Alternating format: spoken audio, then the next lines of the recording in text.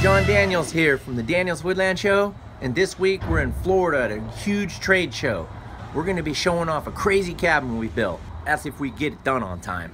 So here we are day two for setup in uh, Orlando at our show IAAPA. And uh, yesterday was a heck of a day. Forklifts were too short.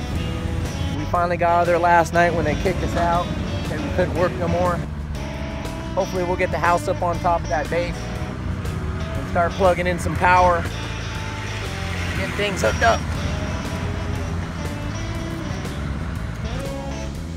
I'm just getting really nervous because I had hoped we'd be in here a lot farther ahead of all these other exhibiting companies because they're, it's just everything's getting quagged up and we need a lot of heavy equipment in here to lift everything. This cabin not up in the air yet and we can't start putting shooting galleries together until that cabin gets up in the air because they need to put the forklift in our booth to lift into theirs. So it's it's very complicated. Got this? You need help? You a bartender? That's the only way you're gonna help me. I'm gonna give it a little bit of a shake so we make sure we're good. All right, let's give this help. So today we're hoping to get everything up in the air and get all the big pieces in place. And then we can pull all of our scattered pieces up in tight and then we'll be out of everybody else's way and we'll be organized and, and get up a good head of steam as far as putting our booths together. We're having a square dance in a tiny little closet. But what are you gonna do? I know. Bring it back down. Little at a time, steady as she goes. Snail's pace, but uh, tortoise in the hare, right? One more piece of the puzzle, baby. One more piece of the puzzle. That's hillbilly for holy shit, we're getting better. I'm gonna have to drink twice as much beer because I sweat everything out already and it's only 9.30.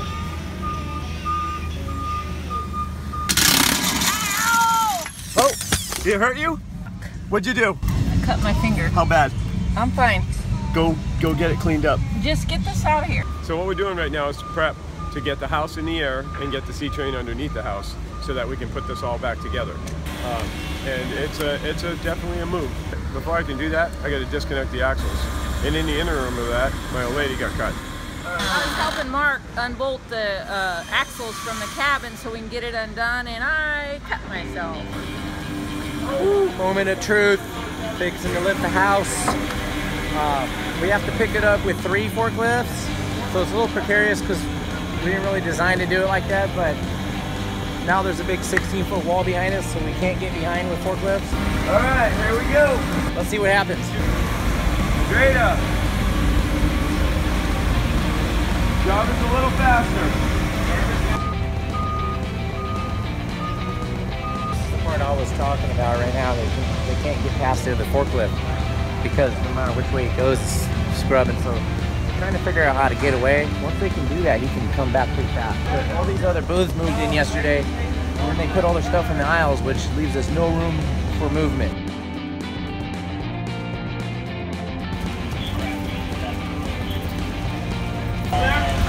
All right, give him a yellow bolt.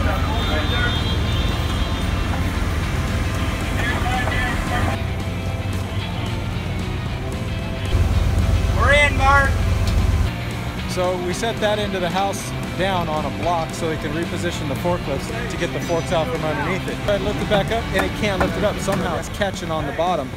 So we try to lift the house up to get the block out. Everything is just wedged and stuck together and we don't know why. So I'm trying to figure it out. Yeah, you can pull it out. That was a little tedious. We, uh, you know, putting three people on a different load uh, all at the same time is, is pretty precarious. And then having to hit eight holes with four different forklift operators is pretty tough. But we did it. Okay, so here we are in the middle of day two setup, which should be actually day three, but we didn't get started till late. Middle of the day, 1.30, finally got this cabin up in the air. This is where I'd hoped to be actually on day one of the setup. So it's like, you know, we're a day and a half into this and I feel three days behind. Exciting times at the Salt Lick Saloon. All right, come on down, Jarvis. The next thing we're gonna do is we're gonna hook you up to this monster staircase that's totally pinched in here. Come forward about another foot. Like this, man. Yes, sir. Day two.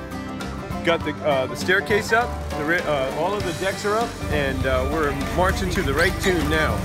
It was a little touch and go in the beginning, but we got her going.